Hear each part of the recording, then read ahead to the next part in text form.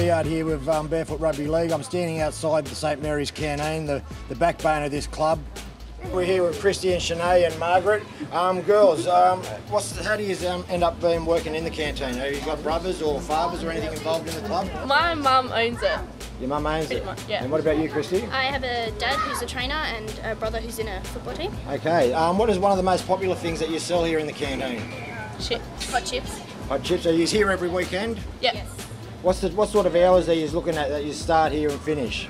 Um, I started about uh, 8.30 till all the games finished. Okay, Margaret, is it all right? Um, how are you involved in the club? Have you got sons or have you been here for a long Nah, time? my one who owns it is my daughter. Um, I'm a their auntie. You're auntie, so you're in here working all the time as well.